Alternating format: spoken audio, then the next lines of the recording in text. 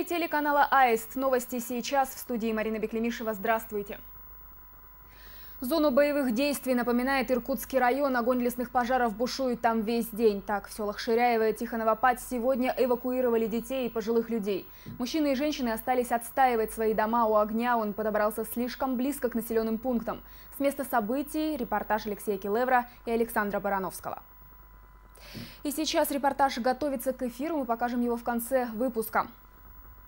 Режим чрезвычайной ситуации введен в Иркутском районе. Там самая сложная обстановка. Также чрезвычайная ситуация объявлена в Баендаевском районе. Лес горит в Аларском, Ангарском, Братском, Жигаловском, Ольхонском районах. В Иркутске состоялось экстренное заседание комиссии по чрезвычайным ситуациям. Поставлена задача ликвидировать крупные и особо сложные пожары, которые представляют угрозу населенным пунктам до вечера сегодняшнего дня. Для этого мобилизованы все силы Министерства лесного комплекса Иркутской области, МЧС и муниципалитетов. Как заявил председатель комиссии по чрезвычайным ситуациям Руслан Болотов, халатное отношение к исполнению прямых обязанностей всех ответственных за пожарную обстановку будет рассматриваться как должностное преступление. Тем временем штормовое предупреждение объявлено в Иркутской области. Во всех районах ожидается ветер с порывами до 25 метров в секунду. Это способствует еще большему распространению лесных пожаров. За сутки их площадь в регионе увеличилась в два раза.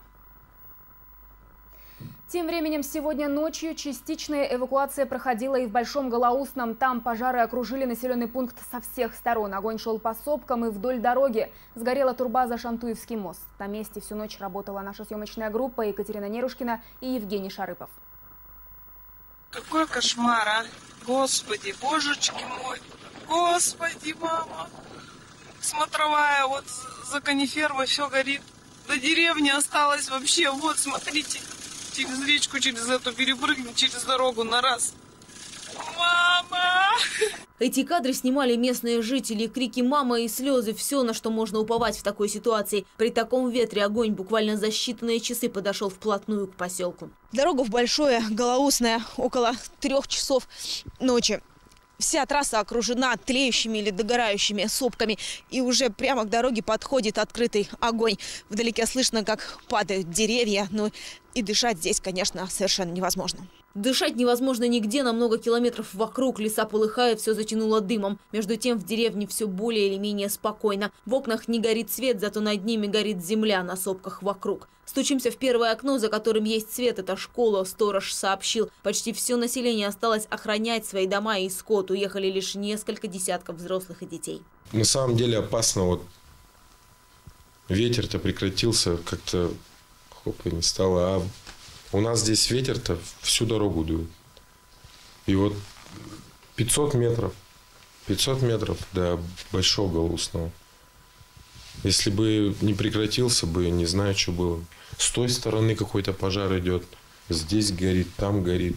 Между тем, рядом со школой дежурят два автобуса из пивоварихи. Они готовы увезти детей из поселка в любой момент. Здравствуйте. Скажите, пожалуйста, где машины все? На пожаре. Местная пожарная часть, никого нет. Как сообщил начальник, все две машины, что есть в поселке, на выезде. Кроме того, на помощь приехали из Малого Голоусного и добровольный спасательный отряд из Иркутска. Вот видите огни? Угу. Мост проезжаете метров 100 и резкий поворот направо. 100 метров и резкий поворот направо. Конная база. Здесь до огня буквально рукой подать. Пожарные контролируют, чтобы огонь не подходил к жилым домам. Дежурят всю ночь. Есть пресс-центр. Обратитесь сюда, вам все скажут. В пресс-центре нам уже все сказали. Интересно, что у вас на месте. Сейчас ночь. Люди просто переживают, все боятся, волнуются. Вы здесь, на месте. А вон, подойдите вон к той машине. Там вам все скажут. А эта машина что, не тушит? Как не тушит? Тушит. Ну вот, раз тушите, так скажите. А в этой машине добровольный молодежный спасательный отряд из Иркутска. Ну, мы приехали часа три сюда на поддежурство назад. Ну вот с горы ждем. Здесь первую полосу, первую линию отбили. Сейчас с левой стороны опять все раздуло. Ждем. Ждать придется всю ночь. Ветер немного стих, но прогнозы неутешительные. Главное управление МЧС по Иркутской области предупреждает об усилении ветра до 20 метров в секунду. Екатерина Нерушкина Евгений Шарыпов. Новости сейчас. Трехлетний ребенок погиб на пожаре в селе Заречном Тайшетского района. Как сообщает администрация муниципалитета, накануне около 16 часов загорелся жилой дом на улице Ленина.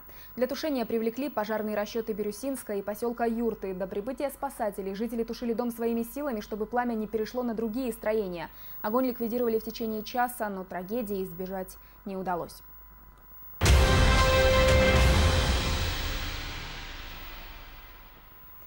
Сказать спасибо своим предкам. В Устярде сегодня открыли аллею трудовой славы. Она посвящена героям социалистического труда, имена которых увековечили на памятных стендах.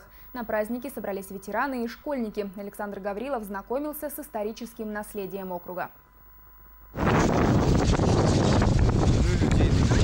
Сильный ветер празднику не помеха. К важному в своей истории событию поселок Устердынский готовился давно. Еще в мае 2016 года установили аллею славы, состоящую из портретов героев Советского Союза. И вот спустя три года работы устердынцы увековечили память о героях социалистического труда. Из 20 человек, чьи имена и биографии размещены на стендах, в живых осталась только Дарья Тумурова. Также установили пятиметровую стелу с изображением орденов Трудового Красного Знамени и Дружбы народов. И вот сегодня, когда мы открываем стелу, даже мы видим, да, что Усть-Ордынский, Бурятский округ орденоносный, награжден двумя орденами э, в 70-х годах.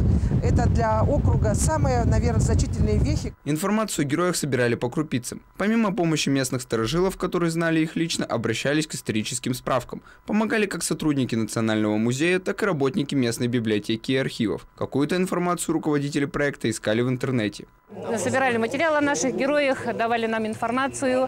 Э, мы искали в интернете. Вот я сама сидела в интернете, пыталась найти фотографии, информацию. То есть есть очень хорошие сайты, сейчас появились герои. Э, поэтому была очень большая, конечно, предварительная работа. Проект посвящен трудовым заслугам ветеранов округа. В открытии стеллы и аллеи славы участвовали руководители округа и неравнодушные активисты. После мероприятия они возложили цветы к стендам с именами. Собраться посмотреть на открытие пришли почти все жители поселка. Ведь перед Днем Победы это событие актуально как никогда. Нами было принято решение, э, чтобы увековечить память э, и участников Великой Отечественной войны, наших ветеранов – а, и э, тех, кто трудился э, в тылу, непосредственно э, создавая продовольственную безопасность нашего государства, организовать аллею славы. Аллею славы мы выполнили в два этапа, участвовали в гранте в губернское собрание, и нам оказали поддержку наши социальные партнеры. Ветеран труда Петр Васильев со многими из героев был знаком лично. Сегодня он посетил открытие, на которое привел свою внучку Свету. Ведь память о подвигах, считает ветеран, нужно прививать детям с малых лет. Для меня, как человека, который проработал всю жизнь в сельском хозяйстве, конечно, вот установка этих наших героев труда Великое дело. Также в канун майских праздников установили новые скамейки. Трехлетние работы завершены. Теперь герои Советского Союза и социалистического труда вместе на одной площади. Александр Гаврилов, Павел Рютин. Новости сейчас. Флешмоб памяти. Сотрудники Следственного комитета и воспитанники кадетского корпуса имени Скороходова сегодня выстроились в слово «Помним» на набережной возле Вечного огня в Иркутске. Во флешмобе приняли участие около 100 человек. Таким образом, следователи и кадеты почтили память погибших на фронтах Великой Отечественной войны. Сегодня мы совместно с кадетами впервые участвовали во флешмобе, посвященному, посвященном памяти Великой Отечественной войне. Ребята и сотрудники Следственного комитета выстроились в слово «помним» на набережной города Иркутска, потому что память – понятие нравственное. Мы помним. Память тех, кто погиб на войне, сегодня почтили и ученики 18-й Иркутской школы. В микрорайоне Юбилейном прошел праздник, посвященный 74-й годовщине Великой Победы. Дети исполняли песни, вспоминали истории своих семей. Приглашенные ветераны и преподаватели школы рассказали присутствующим о событиях тех лет и о подвиге советских военнослужащих. Тот народ, который помнит свое прошлое, только у того есть будущее. Вот, конечно, это мероприятие выполняет определенную задачу э, передача знаний наших о, о том, что было. Потому что та страшная война, которая была, конечно, она не должна больше повториться. И если э, все ребятишки будут об этом знать, будут помнить своих дедов, прадедов, которые участвовали в войне, конечно, это самая вот главная задача такого мероприятия. Для меня это как ну, вспоминаем про войну и про тех, кто э, по, там победил. У меня бабушка постоянно рассказывает про войну, ну и как она переезжала везде, ну, чтобы выжить, а дедушка уже погиб. В завершении ученики школы строем прошли в бессмертном полку в память о героях войны.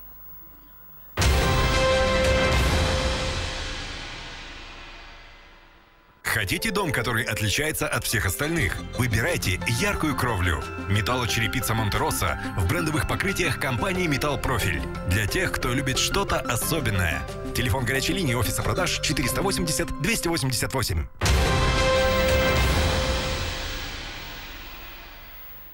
Похитил ветерана медали прямо накануне праздника и сильно избил. Иркутские полицейские экстренно отправились на поиски грабителя, который выследил пожилого мужчину, напал на него и украл деньги и ценные награды. В результате на раскрытие преступления потребовалось всего несколько часов. Это кадры с камер наблюдения. По улице идет пожилой мужчина. Неожиданно к нему пристает прохожий, просит денег. Пенсионер отказывает неизвестному, но мужчину это не остановило. Он дождался, пока ветеран сходит в парикмахерскую, магазин и под предлогом помочь донести пакет, узнает его, место жительства. Недолго думая, грабитель напал на ветерана, избил, забрал деньги и медали. Его и погибшей накануне супруги. Проследил за ним, зашел пожилому человеку, украл деньги и медаль. Все, и скрылся. Спустя несколько часов грабителя задержали. Он не успел сбыть награды. Нашли его по отпечаткам пальцев, которые он неаккуратно оставил дома у жертвы. Установили личность. Нападавшим оказался ранее судимый 38-летний местный житель. Он показал, где спрятал награбленное. В тот же день медали вернули хозяину. Уважаемый, вот как обещал, да. мы человека нашли, да, нашли. И все, возвращаем вам, пожалуйста, медали, возвращаем. Здоровья вам, с наступающим праздником вас. Так быстро э, задержали преступника. Удачи и большое-большое спасибо. Известно, что ранее судимый за кражи мужчина вышел на свободу два месяца назад и совсем скоро вернется обратно. Алексей Килевра, новости сейчас.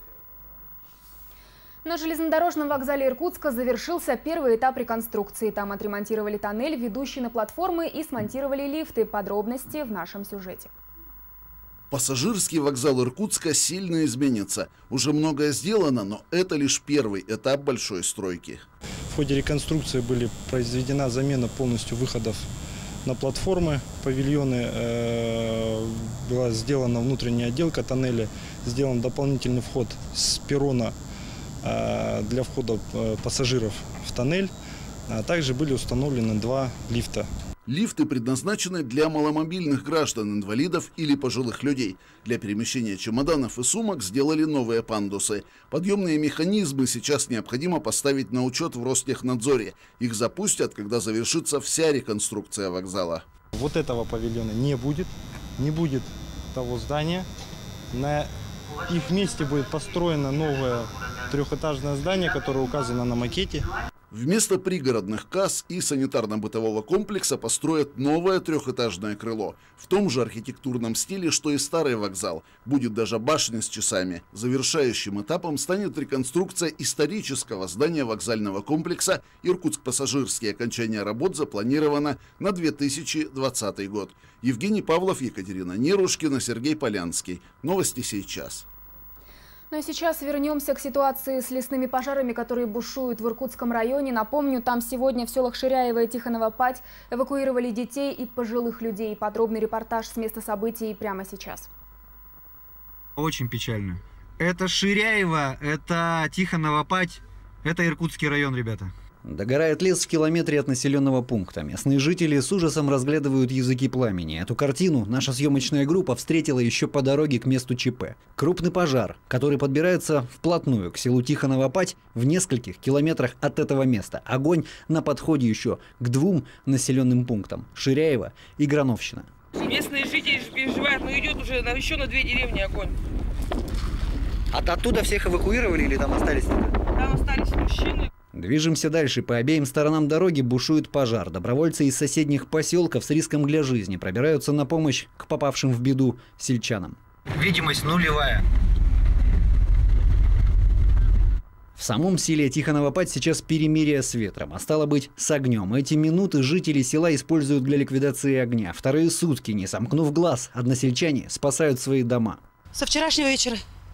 До сих пор не спал никто из местных жителей? Ну, естественно. А эвакуировали кого-нибудь или остались? Да, детей эвакуировали вчера еще. Работает тяжелая техника лесоохраны, пожарные бригады и местные мужчины. Кто на тракторе, кто лопатой, некоторые затаптывают ногами. Женщины подносят воду, отстояли местную церковь и жилые дома. Не получилось сберечь. Кладбище. Там кладбище. А туши кто там? Там бесполезно, скорее всего. Ветер сильный. Все это время в нескольких километрах жители соседних поселков ведут бой со стихией, которая распространяется со скоростью порывов ветра. Снова удача, но люди говорят, это скорее чудо. Вы видите сами последствия тех кадров, которые я показывал до этого.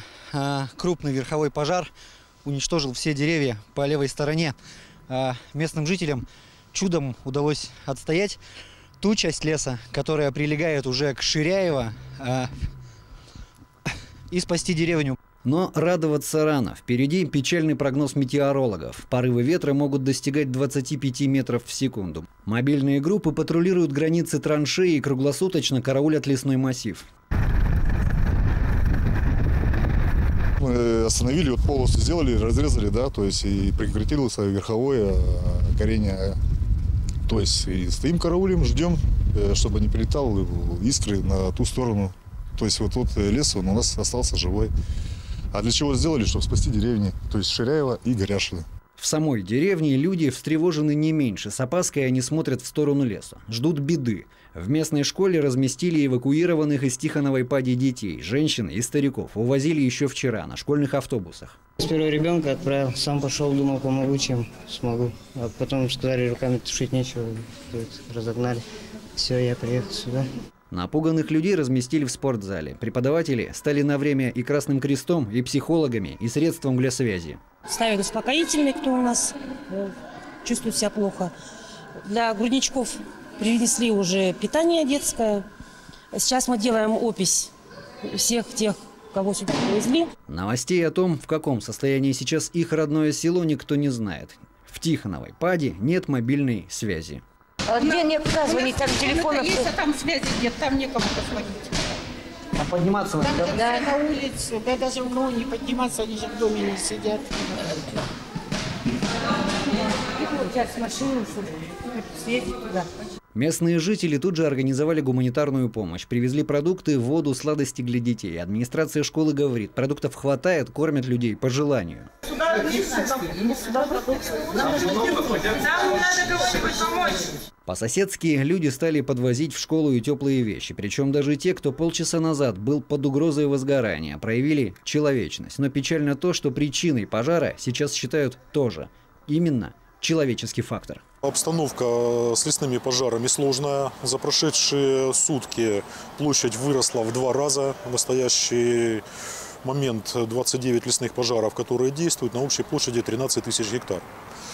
Значит, основная причина пожара – это человеческий фактор. Сейчас посещение леса под суровым запретом. Речь идет не о штрафе, а о жизни. Но не только своей, но и большого количества людей. Алексей Килевра, Александр Барановский. Новости сейчас.